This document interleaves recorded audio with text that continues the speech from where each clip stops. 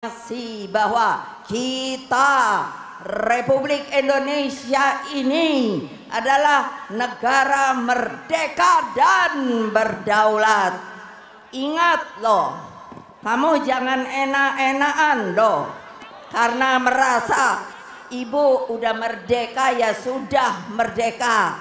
Untuk itulah maka pada waktu itu seluruh pemimpin bangsa melakukan supaya adil untuk membuat negara kita sejahtera dilakukanlah pemilihan umum pertama tahun 1955 ingat jadi apa artinya?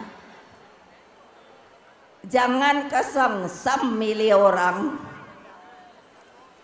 hanya dikasih bansos hanya dikasih beras 10 kilo.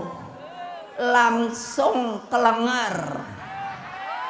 Ini ibu-ibu eh pertanyaan saya. Lalu itu segitu banyak tahu nggak? Yang namanya rakyat kita berapa banyaknya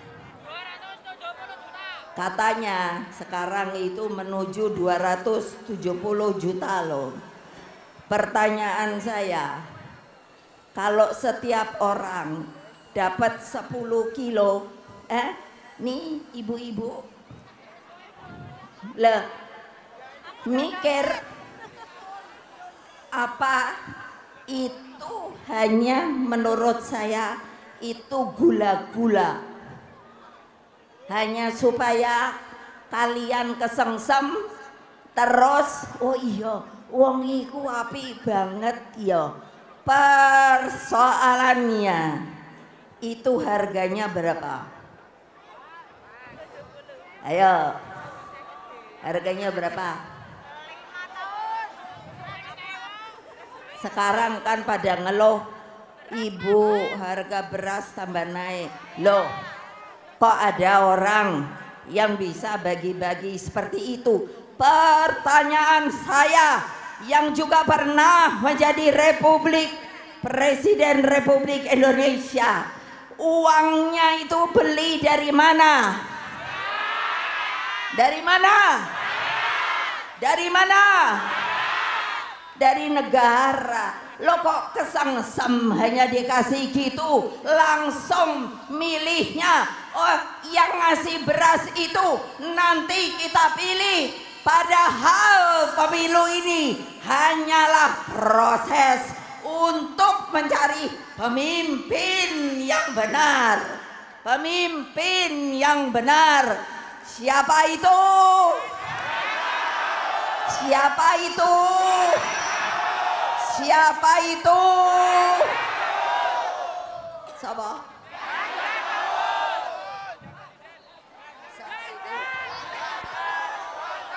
benar nih. Nah, hanya karena ibu datang ingin dengar suara ibu kamu yang mukae dicoreng-coreng ngarap mire sapa? Kalau bohong sama ibu lalu bagaimana? Sebuah janji. Sebuah janji. Artinya kamu juga berjanji kepada yang di atas kepada siapa? Allah subhanahu wa ta'ala. Karena kita sudah diberi kesempatan dengan pemilu ini untuk memilih pemimpin yang terbaik supaya bisa yang namanya Indonesia makin makin baik. Rakyatnya dicintai. Tidak kemarin waktu di mana ya oh oh di mana ya? Waktu kejadian Boyolali. Boyolali. Siapa yang nonton? Siapa yang nonton? Lo kok enak men? Sampai anak itu saya lihat di rumah sakit. Pada bonyok. Apa niki? Mulutnya. Hah? Iya lah kayak gitu. Terus mau dipilih orangnya. Ya ora usah. Karena pemimpin seperti Bung Karno itu dari umur 16 tahun seperti kalian ini. Siapa yang umur 16 tahun? Ah keluar masuk penjara. Dibuang untuk apa? Karena teguh mereka semua pendiri bangsa itu ingin bahwa yang namanya Nusantara itu menjadi sebuah negara merdeka dan berdaulat.